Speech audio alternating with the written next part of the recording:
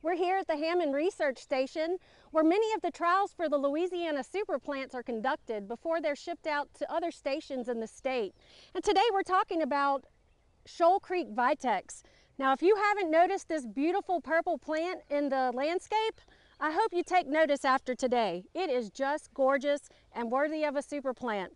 It's a shrub that grows kind of like a tree, will grow 12 to 15 feet in height and about eight feet wide.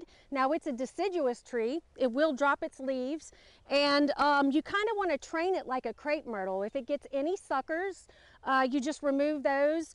If you want to keep it a certain height, you can also prune. It performs well with heavy trimming.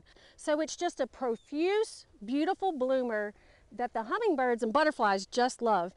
Vitex has also come in different colors, anywhere from whites to blues, reds, and pinks, different varieties, but this one has done great in Louisiana. Shoal Creek is just a profuse bloomer. It will bloom from the end of spring throughout the summer. It'll bloom again in August. This is a deciduous tree, so it will lose its leaf in the wintertime and they will bloom for you through the summer. Just a gorgeous addition to the landscape. And again, the hummingbirds and butterflies just love it. For Get It Growing? This is Heather Kirk-Ballard with the LSU AgCenter.